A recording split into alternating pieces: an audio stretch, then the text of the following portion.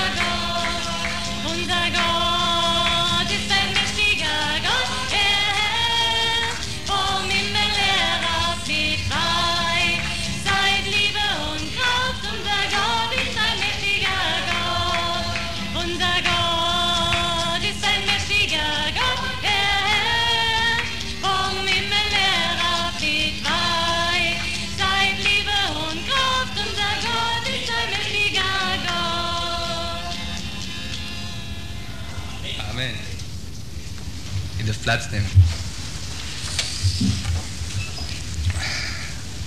Recht herzlich willkommen, freut mich also für jeder, der heute Abend hier ist. Vielen Dank für euer Vertrauen, dass ihr auch vielleicht in mich setzt, obwohl ich kein Psychologe oder Pädagoge oder Eheberater oder sonst was bin, sondern nur ein kleiner Mann, der eine Liebe zu Gottes Wort hat. Und besonderen Dank will ich an unsere ältere Ehepaare, hier wieder Richard und Agnes, Serge und Waltraud, dass ihr euch das einfach noch zumutet, hier zum Eheseminar zu kommen. Oder Ursula, ja, oder Anna, ne? schade, dass der Wendlin nicht dabei ist. Gut, schön. Wir haben auch hoffentlich noch die Gelegenheit von unseren älteren Ehepaaren zu profitieren, dass sie uns von ihrem Erfahrungsschatz und von ihren Rezepten für die Ehe so ein bisschen was weitergeben können. Ich selbst bin eigentlich doch noch ein Greenhorn. So an Jahren, 13 Ehejahre habe ich erst vom Buckel und 19 Jahre sind wir zusammen. Ne? Fünfeinhalb Jahre haben wir gebraucht, bis wir auf das Schiff der Ehe gegangen sind. Ne? Weil die Ehe war für mich immer so was Kritisches, ne? so ein bisschen was mit Gefangenschaft und Freiheitsberaubung hat das für mich zu tun gehabt. Und den Ehering hatte ich gesehen wie so ein Fangeisen. Aber das hat sich mit, mittlerweile geändert. Ich muss auch sagen, damals war ich noch kein bibelgläubiger Christ. Ne? Und von daher hat sich die Einstellung grundlegend geändert. Und ich würde heute immer wieder meine Frau heiraten gehen. Ja. Und ein bisschen fruchtbar waren wir auch schon. Ne? Drei Kinder haben wir, drei Töchter, sehr lebendig. Von ihnen durften wir auch schon lernen, ein bisschen über Erziehung und auch von ihnen, von ihrem kindlichen Glauben konnten wir schon ein bisschen was lernen. Denn Kinder haben dort oft den Erwachsenen etwas voraus. Sie nehmen den Glauben so, wie sie ihn erzählt bekommen ne? und fragen nicht rum und drucksen nicht lang rum. Sie nehmen es so, wie wir es ihnen übermitteln, wie, wie wir es ihnen erzählen. Aber jetzt zu unserem ältesten, ältesten Ehepaar hier, das hier zusammen ist. Das ist sehr wahrscheinlich der Richard und Agnes, ja? Ja. Und äh, wir haben für euch etwas, ein kleines Geschenk. Ja. Kommt bitte nach vorne. Und es wäre auch schön, wenn ihr uns ein paar Grußworte übermitteln würdet. Stefanie, gehst du bitte die Blumen holen? Richard und Agnes, kommt bitte nach vorne. Und vielleicht hast du was für uns. Oder geht hier ein Mikrofon? Vielleicht geht das dann besser. Hm. Dass ich hier vorne stehe. Ja, ich habe äh, Dankeschön für das Vertrauen. Ich, ich habe mir sagen lassen, dass es im Himmelreich zwei Türen gibt. Auf der einen steht, hier gehen alle Männer hindurch, die ihr ganzes Leben nur gemacht haben, was ihre Frau gesagt hat. Und auf der anderen Tür steht, hier gehen die Männer hindurch, die in Eigenverantwortlichkeit ähm, auch mal die Richtung angegeben haben und entschieden haben, was in der Ehe zu passieren hat. Und interessanterweise an der Tür, wo stand, hier gehen alle die hindurch, die immer nur machen, was ihre Frau sagt. Da war eine riesige Männerschlange, unendlich lang. Und an der Tür, wo steht, hier stehen die Männer, die in eigener Verantwortung ihre Verantwortlichkeit erkannt haben und auch mal selbst entschieden haben. Da stand das so kleines migrisches Männchen.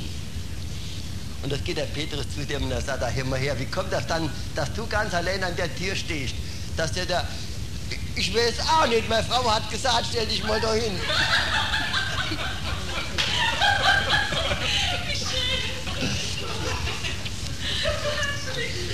äh, wir haben, ob wir es wahr, wahr haben oder nicht, wir, wir haben schon die Verantwortung vor dem Herrn.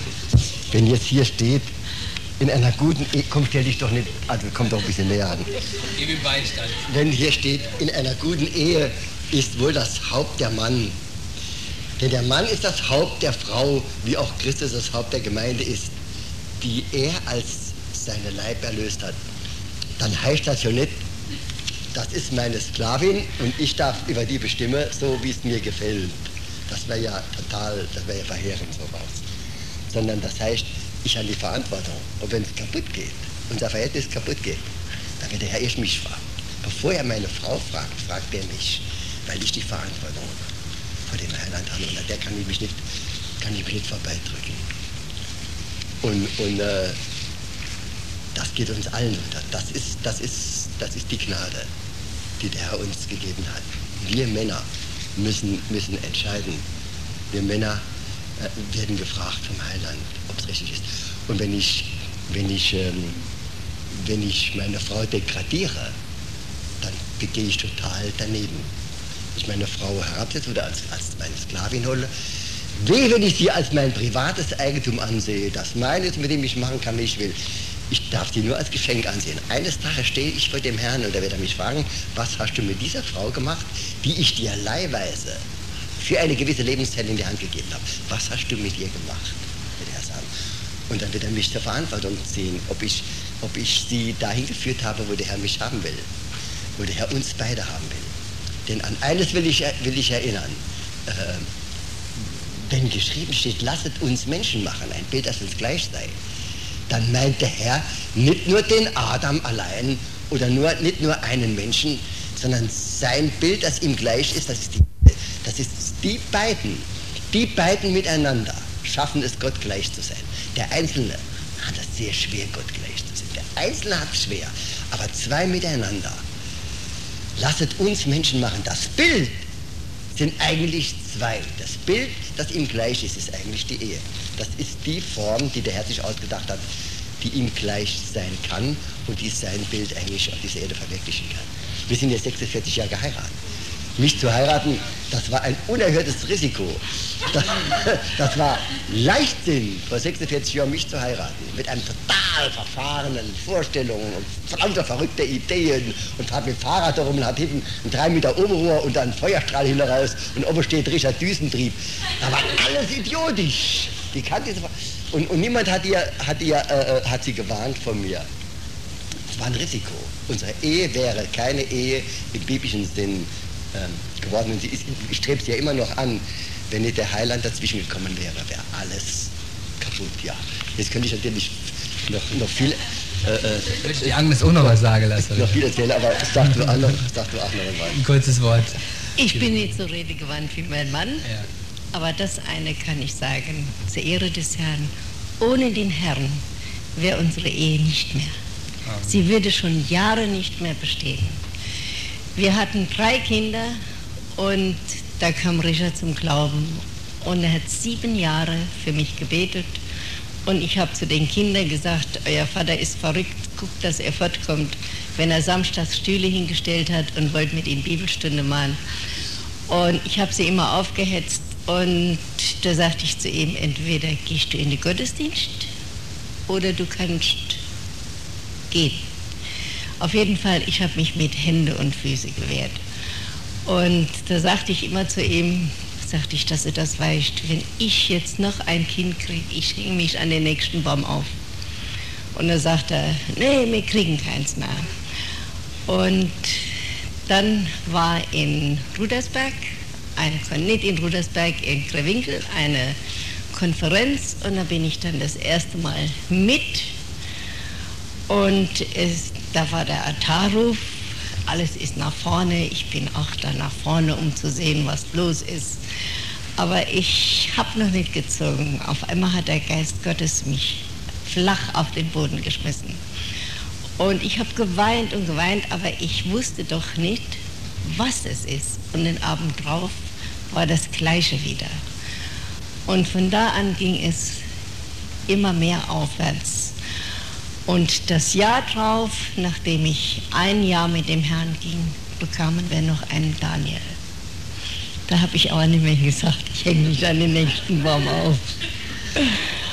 Und so ging, es war nicht immer so einfach, denn ich habe einen Mann, der ein bisschen extrem in manchen Sachen ist. Der Serge sagt vor kurzem noch zu mir, sagte Agnes, weißt du noch, was der Richard dir alles heimgeschleppt hat? Sagte ich, ich weiß es. Aber ich muss zur Ehre des Herrn sagen, dass wir heute eine sehr, sehr glückliche Ehe führen. Es gab Höhen und Tiefen wie überall, aber der Herr hat uns immer fest an der Hand gehabt. Aber, aber ich muss sagen, das war das entscheidende Moment. Vorher, vor, bevor Jesus ins Leben kam, war das ja gar keine richtige Ehe. Ich gehe auf die Schaffe und du brauchst mir die Hemd die Krummbiere. Und, und zwischendurch gehen wir ins Nicht. Das war ja nicht, das war ja nicht was, das war ja nicht Ehe in dem Sinn, sondern mit, mit Jesus kam erst die, die Verantwortlichkeit in unser Familienleben hinein. Und wenn ich heute, ich will, will keine Eheberatung hier geben, aber wenn ich, wenn ich heute sage, nach 46 Jahren Ehe, was, was der, das stärkste Moment ist, oder das stärkste Bedürfnis ist, das größte Bedürfnis, das meine Frau in diesen 46 Jahren nie beim Namen genannt hat, aber das sie signalisiert hat, das Verlangen nach Bewahrung, nach Schutz und Geborgenheit. Und meine Frau hat viel geschafft. Von den ersten Ehetagen an hat sie, hat sie Nachtschicht gemacht, zu Hause genäht mit, mit, mit den Füßen, um unsere Familie mitzuernähren. Aber sie konnte all das, was sie je geleistet hat, in ihrem ganzen Leben mit mir zusammen, nur tun unter, dem, unter, unter dieser Voraussetzung, ich bin beschützt und ich bin bewahrt durch meinen Mann. Und, und unter dieser Bewahrung, das, alles, alle anderen Bedürfnisse, die sie je in ihrem Leben gezeigt hat, die kamen all dahinter. Das Verlangen nach Schutz und nach Bewahrung durch, durch ihren Mann, das stand immer ganz groß im Vordergrund. Und wenn das gegeben war, und dann hat sie die Kraft gehabt, alles das zu machen, was in 46 Jahren äh, auf uns her, äh, also, an, also an uns herangekommen ist. So. Ja, ja, jetzt ja. Du wärst der richtige Mann für den Abend zu füllen. Hier, ja. um den Abend zu leiten.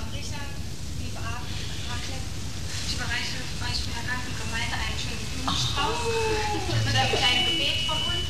Also ich habe gebetet und ich glaube, die anderen haben auch gebetet dafür, dass ihr noch segensreiche Ehejahre habt.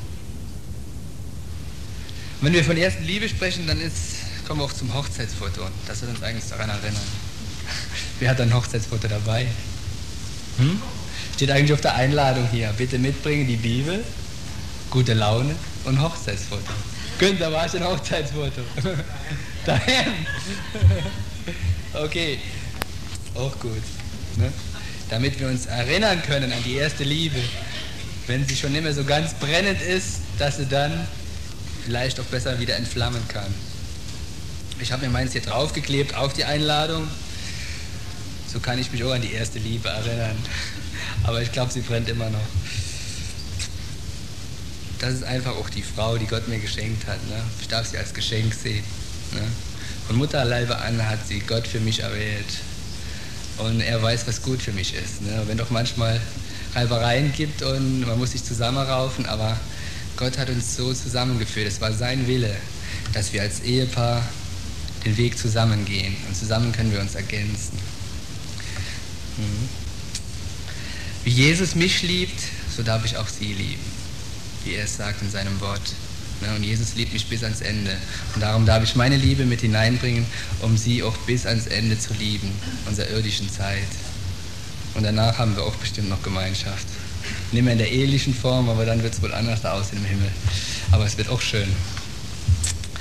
Also was Gott zusammengeführt hat, das soll der Mensch nicht scheiden steht in Gottes Wort. Und deshalb sollen wir einfach alles dafür tun, damit es nie zu einer Scheidung kommt. Wobei Scheidung in unserer Gesellschaft immer mehr als normal angesehen wird. Und nach Angaben des Statistischen Bundesamtes in Wiesbaden lag die Scheidungsrate der 1950 geschlossenen Ehen noch bei nur 10 Prozent. Das heißt also, dass unsere Omas und Opas, die waren auch echt treu. Die waren auch wirklich treu. Aber sie ist, die Scheidungsrate ist explosiv angestiegen. Dass die letzten 25 Jahre geschlossenen Ehen auf 34 Prozent gestiegen ist. Und das Schlimme ist, die Tendenz ist immer noch weiter steigend. Und was für mich am traurigsten, die traurigste Auswirkung ist, dass 40 Prozent der Kinder leben nicht mehr bis zu ihrer Volljährigkeit in einer normalen Familie auf. 40 Prozent der Kinder haben nicht mehr Vater und Mutter und leben nicht mehr in normalen Familien auf. Und hier sind wiederum die Leidtragenden, die Kinder. Was in ihre Herzen und Seelen an Verlustschmerzen und an Verletzungen hineingesät wird, das können wir mit unserem Verstand nicht ermessen. Es sind tiefe Wunden, die in ihren Seelen gerissen sind. Allein schon der Kinder wegen kann sich so ein Eheseminar im positiven Sinne vorbeugend rentieren oder positiv auswirken. Auch christliche Familien sind von dieser katastrophalen Tendenz nicht gefeit. Auch unsere Ehen können schnell den Bach runtergehen, wie man so schön auf gut Deutsch sagt. Und wenn sie nur auf menschliche Gefühle aufgebaut sind, dann ist es sowieso schlecht. Obwohl die Gefühle auch eine wichtige Rolle spielen. Ne? Versteht mich dort bitte nicht falsch. Aber wir als gläubige Christen haben noch eine Chance, unsere Ehen bis ans Ende zu bringen. Eben weil wir uns nicht nur auf die trügerischen Begierden oder Gefühle verlassen, sondern auf das Wort Gottes. Und dort sehe ich die große Chance für uns als Christen, wenn wir uns auf Gottes Wort berufen. Und Gottes Wort hält eine Lösung für alle zwischenmenschlichen Beziehungen bereit. Es zeigt uns auf, in Konflikten und Problemen nicht den Kopf zu verlieren, sondern nüchtern und real nach seinen Anweisungen zu reagieren, seine Anweisungen zu befolgen und danach zu handeln. Und die Konsequenz ist einfach, dass Heilung und Harmonie in unsere Beziehungen und Ehen hineinfließen. Wo Gott nur gute Absichten und das Beste für unsere Familien möchten, ist aber auch der Widersacher, der Teufel, Satan, und er möchte die Familien entzweien und zerstören. Satan kennt Gottes gute Absichten und er kann, kann Gott nicht selbst angreifen. Dazu hat er einfach nicht die Stärke. Deshalb greift er Gottes Kinder an. Besonders gerne Ehen und damit Familien. Und das wirkt sich aus in einer Kettenreaktion. Und eine Ehe, die erste Zelle in einer, in einer Familie zerstört wird, dann wirkt es sich auf Kinder aus und wiederum auch in die Gemeinde hinein. Es hilft uns, wenn wir sein System durchschauen. Seine Methode und Vorgehensweise ist immer noch die gleiche. Genauso wie er es bei Adam und Eva oder auch bei Jesus selbst getan hat, so versucht er es bei uns.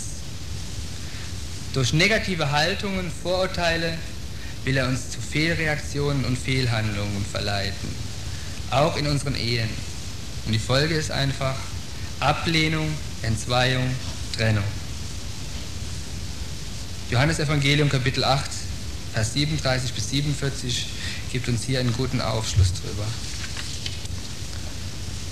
Durch Bewusstmachen von Gottes Wahrheiten können wir falsche Denkschemen oder Fehlhaltungen ablegen und uns die positiven Charakterzüge des Wortes Gottes anlegen. Und diese göttlichen Weisungen und Wahrheiten müssen tief in unsere Herzen fallen, damit sie dort die Frucht bringen, die Gott haben will. Wenn sie dort verankert sind, bringen sie mich in eine glückliche und harmonische Beziehung zu meiner Frau oder zum Mann. Aber auch zu Kindern und allen Menschen, in denen ich Beziehung, in einer Beziehung stehe. Gottes Wahrheiten bringen mir fruchtbare Beziehungen. Und diese gesunde, harmonische Beziehung, glaube ich, die wollen wir alle. Zu unserem Ehepartner, zu unseren Kindern, Eltern, Bruder und Schwestern. Und jeder von uns sollte heute Abend mit einer positiven Haltung in dieses Seminar gekommen sein. Das heißt, wir sind hoffentlich nicht nur gekommen, damit der Ehepartner das Wort hört, damit der sich endlich mal verändert. Ne? Das wäre die total falsche Haltung. Wir sollen uns ganz persönlich für uns selbst die Anregungen herausnehmen, entnehmen und für sich selbst mit in seine Beziehung hineinzubringen. Nicht nur der Partner braucht Veränderung, sondern ich brauche Veränderung. Ich muss mich zuerst immer selbst versuchen zu verändern. Und dazu soll ich immer lernbereit sein. Und damit wir alle voneinander lernen können, bitte ich euch um eine, eure konstruktive Mitarbeit. Es wäre schlecht, wenn ich würde euch ja nur, nur vortragen und da würde euch vielleicht Augen zwischendurch zufallen. Deswegen bitte ich euch um eure Mitarbeit und die soll folgendermaßen aussehen. Truth hat eben die Losungen verteilt. Und die sehen so aus. Vorne das Bild der Taube. Die Arschetaube hat einen Zweig im Mund, der der Noah gebracht hat. Und auf der linken Seite im Innenteil ist dann ein Zitat von verschiedenen Autoren. Auf der rechten Seite ist dann ein Bibelvers dazu, ein oder zwei Bibelverse dazu. Und auf der Rückseite finden wir dann eine Zahl. Und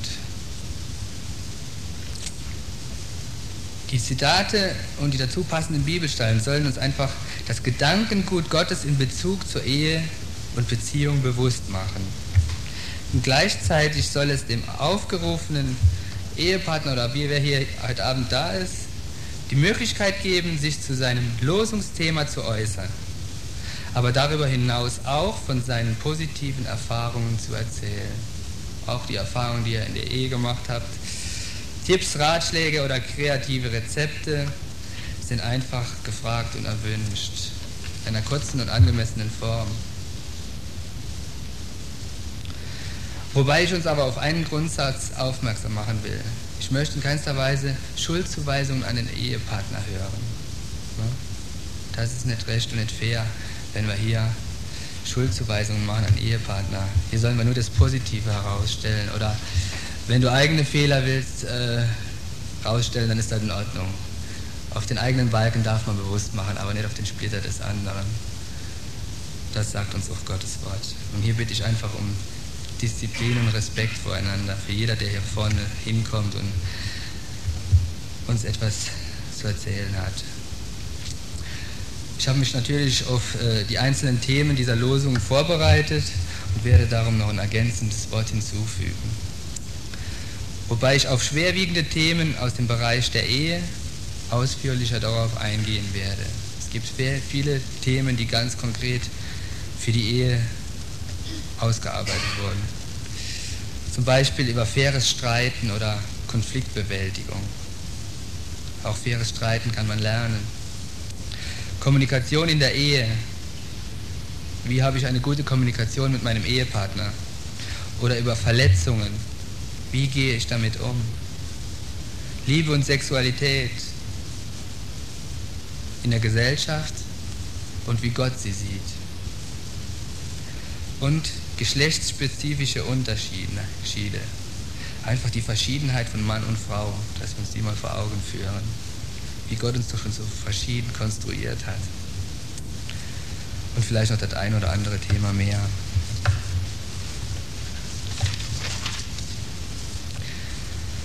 Also wenn ich euch nachher aufrufe mit Name oder Zahl, am besten mit Zahl, kommt bitte nach vorne, lest uns eure Losung vor Zuerst das Zitat und danach die Bibelstelle. Und dann darf jeder uns seine Gedanken zu seiner Losung mitteilen und auch vielleicht noch ein paar eigene Erfahrungen oder Ratschläge hinzufügen. Ist das verständlich rübergekommen? Also bitte nicht zu so ausschweifend denken, wir haben 42 Losungen, habe ich vorbereitet und ich denke, das kriegen wir sowieso nicht in einem Abend. Ich denke, wir machen noch einen zweiten Abend. Und dann habe ich hier noch einen Ehetiff mitgebracht. Hm? Ehetiff. Außer du lachst. Das ist eine ganz gute Angelegenheit. Das ist eine sehr interessante Erfindung. Es geht um eine Checkliste zur Ehe. Und dort stehen zwölf Fragen zur ehelichen Zufriedenheit. Und dort kannst du deine Bewertung abgeben. Deine eigene Bewertung und wie du glaubst, dass dein Partner die Frage bewertet. Hier sind vier Klammern an der Seite und hier kannst du deine eigene Bewertung eintragen und nebendran dann, wie du glaubst, wie deine Frau diese Frage bewertet. Oder dein Mann, ja, das ist egal. Und dann, ich gebe euch jedem eins und dann könnt ihr das vergleichen wieder. Dass wir einander haben, gut, dass wir einander den Freudenkräfte teilen und auf einem Wege gehen. Gut, dass wir nicht das nur haben, dass der Kreis sich niemals schließt. Und dass Gott,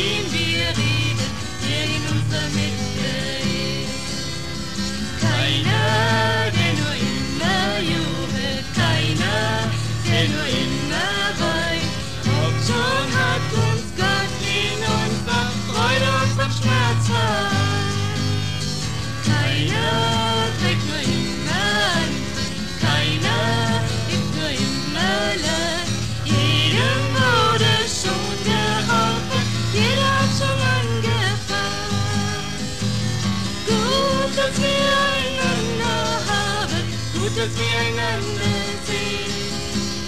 Sorgen, Freuden, Kräfte teilen und auf seinem Wege gehen. Gut, dass wir nicht uns nur haben, das begreife ich niemals nie. Und das Gott,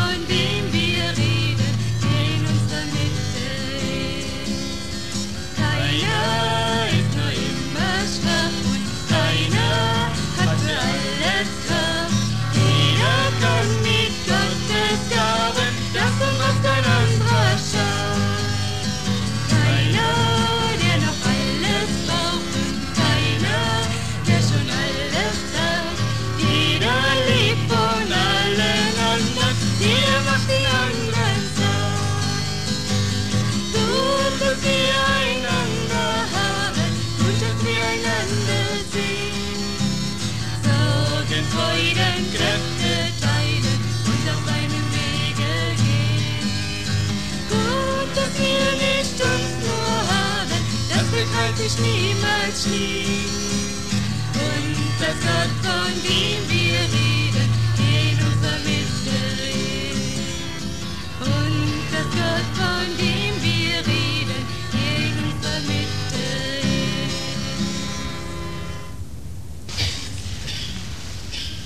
Da steht Beispiel von Leonardo da Vinci. Je größer der Mann, desto größer seine Liebe. Das das. Und dann Epheser 5, 25, da heißt es, ihr Männer liebt eure Frauen, wie auch Christus die Gemeinde geliebt hat und hat sich selbst für sie dahingegeben. Amen. Aha. Ja, ihr Lieben, das ist schon ein wahres Wort. Oft weiß man all das, theo- theoretisch weiß man diese Dinge, hat man zwar, aber im Praktischen ist es nicht immer so im Leben. Ne? Und das ist auch bei mir nicht immer so. Äh, ich muss ganz ehrlich sagen, 23 Jahre sind wir jetzt verheiratet. Bald, nächsten Monat. Nächsten Monat 23. Also, Richard, du bist doppelt so viel wie ich verheiratet. Ich habe noch ein Stück vor mir. Aber in diesen 23 Jahren muss ich sagen, da gab es gute Zeiten, aber leider auch schlechte Zeiten. Und meine Frau hat auch in den letzten Jahren sehr viel mitgemacht. Und ich muss gestehen, ich habe ich das auch gesagt schon, es ist, ich habe meine Frau auch in den letzten Jahren vernachlässigt. An Liebe, an Zuneigung, an Verständnis. Und es ist immer so einfach. Wenn man so Probleme hat ne, und Schwierigkeiten und Dinge, dann wird man abgelenkt und Dinge werden einfach wichtiger, als eigentlich den Partner soll sein. Und ich muss auch sagen, es ist auch darin, meine Frau zu lieben, wie Christus die Gemeinde geliebt hat. Und manchmal war mir die Gemeinde wichtiger. Manchmal war mir die anderen wichtiger wie meine eigene Frau. Und das ist nicht gut. Ich habe das ja vor kurzem gesagt, ich weiß nicht, ob ihr das noch erinnert. Es ist nicht so einfach und es tut mir manchmal tut mir leid. Man kann Dinge, die man versäumt hat, kann man nicht mehr nachholen. Das ist vertan. Es kann besser werden. Ja? Und es ist schon ein wahres Wort. Wie der Richard auch sagte, das liegt schon am Mann, die Verantwortung der Ehe und der Familie. Und es ist gar nicht so leicht, liebe Schwestern. Das ist gar nicht so leicht, echt als Verantwortung zu tragen. Es tut mir leid. Manches tut mir leid heute. Aber Gott schenkt Gnade. Eins ist gewiss, Gott hilft. Hilft. Ja, Okay, Dankeschön. Gott hilft, auf jeden Fall. Und ich bin auch der Überzeugung, dass die Liebe viel von unseren Schwächen und Mängeln, Versagen und Versäumnisse zudecken kann. Und wenn man erkennt, wo man Mangel hatte, Versäumnisse hatte, Schwächen hatte, dann darf man dorthin kommen und diese, aus diesen Schwächen und Fehlern lernen und sie in der Zukunft besser zu machen. Denn die Bibel sagt uns auch, vergesst das, was hinter euch liegt, sondern streckt euch nach dem aus, was vorne ist. Und aus Fehlern darf man lernen und darf sie in Zukunft einfach besser machen. Dass man seine Initiative damit hineinbringt, in Zukunft die Dinge besser zu machen. Ne? Und wenn wir unseren Ehetüv miteinander durcharbeiten, erkennen wir einfach unsere Versäumnisse. Und ich denke, das ist eine gute Anregung für dann, sich etwas mehr zusammenzuraufen und etwas mehr Zeit füreinander zu holen, für Gemeinschaft, für miteinander zu reden und die Bedürfnisse, dass sie enger zusammenwachsen. Und der Maßstab ist immer die Liebe. Ne? Jesus setzt uns immer als Maßstab die Liebe an. Da werden wir einfach dran gemessen, an, an der Liebe. Ne? Gaben und alles wird vergehen, aber die Liebe wird bestehen bleiben. Gut. Und jetzt kommen wir zum 32. Da geht es wieder um die Liebe. Wer hat den 32. Brigitte. Oh, schön. Brigitte hat die Liebe. 32. Also, die Liebe sieht Undankbar, Undankbarkeit nicht an. Martin Luther schreibt das. Die Liebe erträgt alles, sie glaubt alles, sie, boah, sie hofft alles und sie duldet alles. Im 1. Korinther 13,7. Und das hat mich auch sehr angesprochen, das Wort. Ich habe vor 34, mein, vor 34 Jahren habe ich meinen Mann wirklich aus Liebe geheiratet.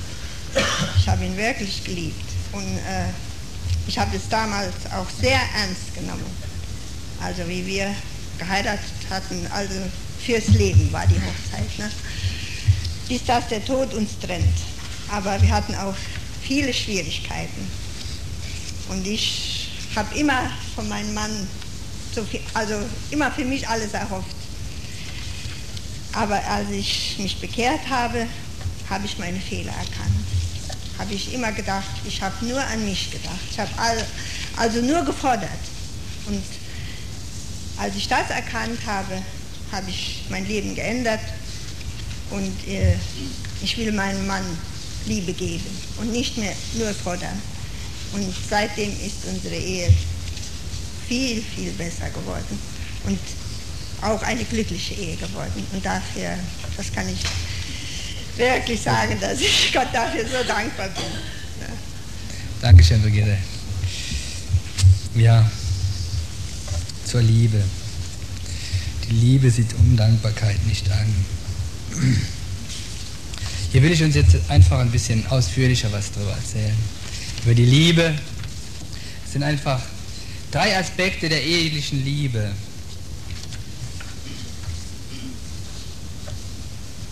Liebe wird uns im griechischen Urtext viel deutlicher wiedergegeben, als in dem, in dem Deutschen erreicht.